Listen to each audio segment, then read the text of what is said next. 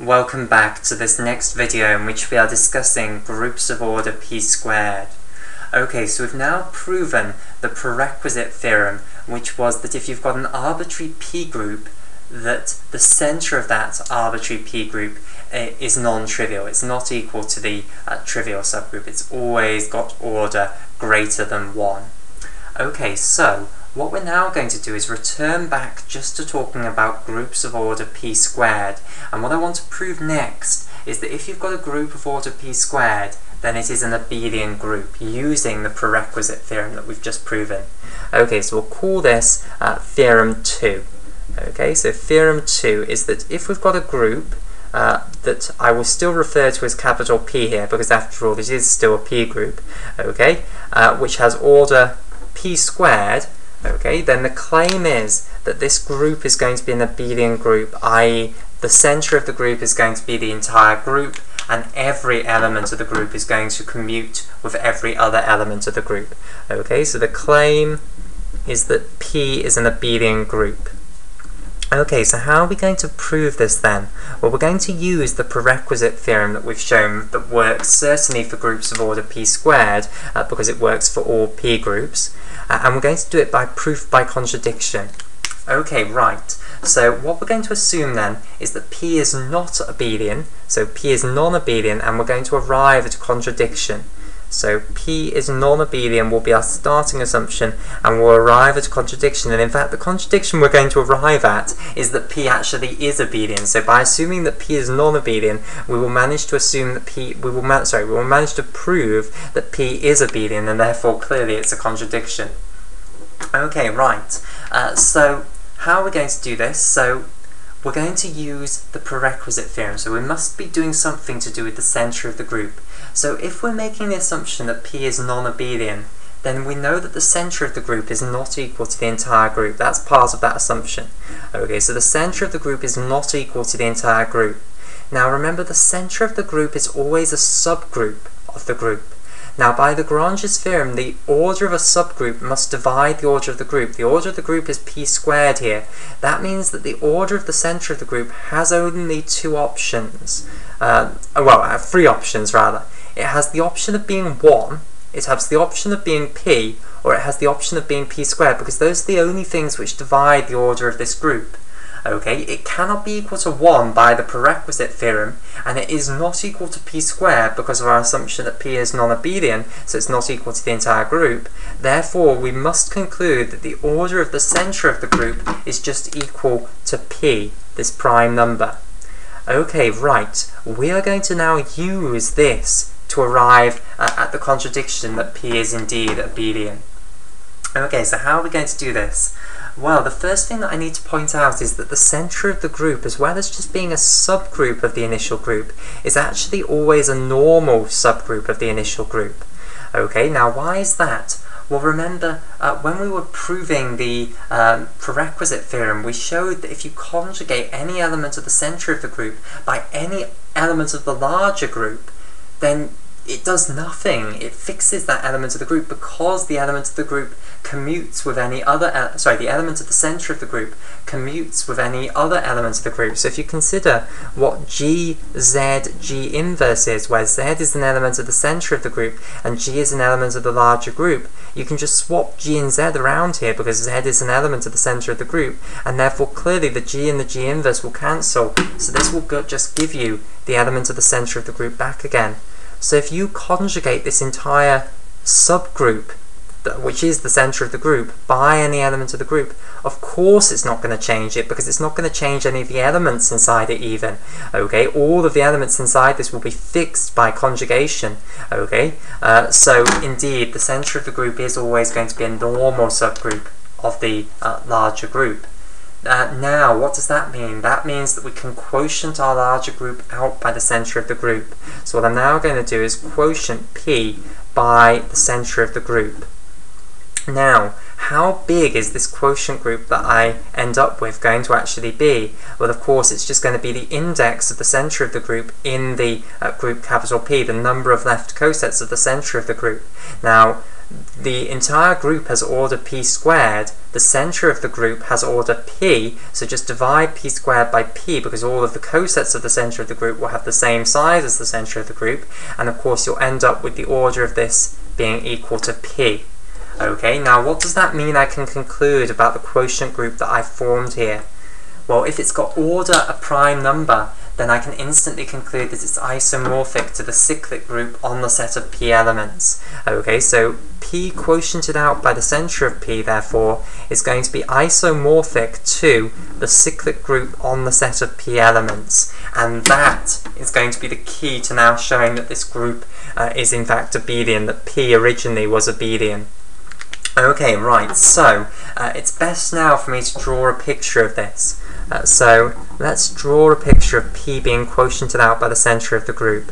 So let's have this box representing P here, and let's have this down here, this thin little strip representing the centre of the group. So I'll just colour it in. So here is my entire uh, group, capital P, the group of order P squared.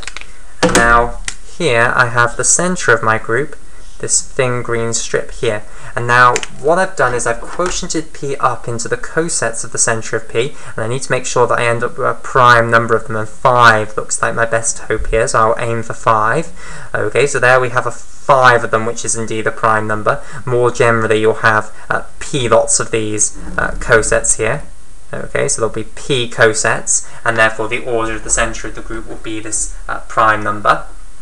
Okay, right. And now what we know is that in fact this is a cyclic group on the set of p elements. It's isomorphic to the cyclic group on the set of p elements.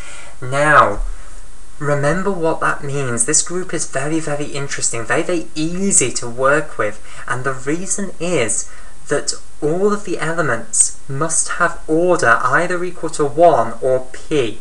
Okay, so when you generate the cyclic subgroup generated by any element, if you're the identity element, and of course the identity element will be this green coset here, the actual centre of the group will contain the identity element from the original group, so this will become the identity in the quotient group.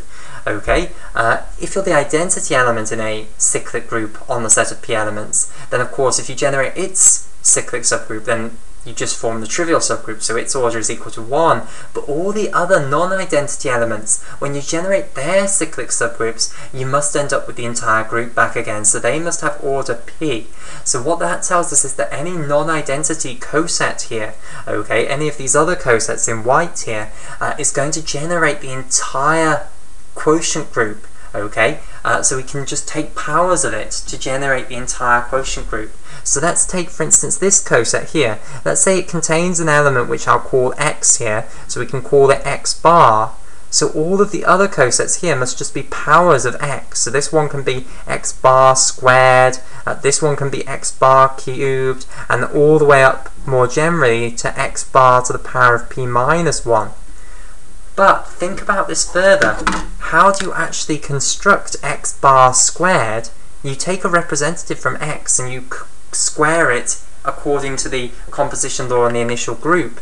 Okay, so we might as well take the representative x here. So x bar squared is actually going to contain x squared. x bar cubed will actually contain x cubed. x bar to the power of p minus 1 will actually contain x to the power of p minus 1. Okay, so this means I can characterize these other cosets here by powers of x, and if you like, you can think of this one as containing x to the power of 0, which is the identity element here. Okay, so I can characterize all of these cosets here by these powers of x. Now, it gets even better than that, uh, because I'm, I've now characterized the cosets. What, of course, I want to do is characterize the entire group, capital P. I want to prove that P is abelian. So let me firstly characterize all the elements of P. I've got a representative from every single coset now. I want to look for all the other elements of the cosets. How can I do that? Well, of course, all the elements of the cosets are just one element of the coset times all the elements of the uh, thing that we quotiented out by. Okay, so in fact, if you've got an arbitrary A, which is an element of capital P, A is going to be, in one of these cosets, it's going to be a power of x, so x to the power of i, where i is equal to 0, 1, all the way up to p minus 1, times some element of the center, because these are, after all, all just cosets of the center. So the way that you construct the left, the well, either left coset, we're doing left coset here, so we'll stick to left coset. Uh, of course, left cosets and right cosets are exactly the same when we're talking about normal subgroups, so it doesn't matter. Okay.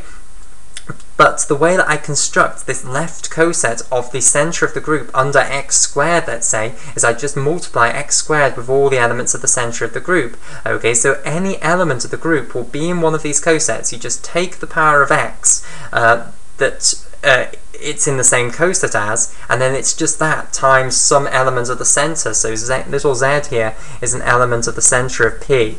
Okay, so here then is my characterization of the, all the elements of my entire group capital P here. They are all just powers of x times some element of the center.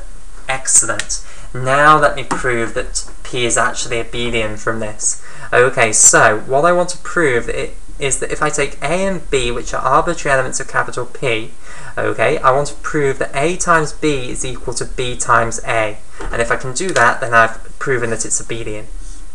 Okay, which is a contradiction and hence the centre of the group must have equaled the entire group. Uh, so it must have been abelian. Okay, right. Uh, so um, how can I do this? Well, I can write a and b in this form. So a is going to be some power of x, x to the power of i, times let's say z1, and b is going to be some power of x, x to the power of j, times z2. Now just work these things out. Let's firstly work out a times b. So a times b will be x to the power of i times z1 times x to the power of j times z2, or composed if you prefer to times, uh, whatever you want to call it. I'm just saying times for the composition here, uh, but if you want to, if you prefer to keep this very abstract, then call it composition. Okay, now because it's, of course, group theory that we're doing here, we know that associativity works, so that's why I haven't bothered to put any brackets in. Now, and what I can do is apply the fact that Z1 and Z2 are elements of the centre here, and therefore they commute with all the other elements of the group. So in particular, Z1 will commute with x to the power of j here. So I can turn this into x to the power of i times x to the power of j times Z1 composed with Z2 here and then I can combine x to the power of i with x to the power of j here, because this just means compose x with itself i times. This just means compose x with itself j times, so this is just equivalent to x uh, composed with itself i plus j times, composed with z1, composed with z2 here. Okay, so that's the answer to the left-hand side. Now let's work out the answer to the right-hand side here. So BA would be x to the j uh, z2 composed with x to the i z1 and again I haven't bothered putting in brackets because I know associativity works in a group. Okay? Now of course what I can do is apply again the fact that elements of the centre commute with all other elements of the group. So this time commute z2 and x to the i here and you'll get x to the j, x to the i, z2, z1 Z1 and Z2 will commute with each other because they're both elements of the centre, so I'll swap them around. And of course, here I've got x composed of itself j times, composed of x composed of itself i times. Again, that's just x composed of itself i plus j times.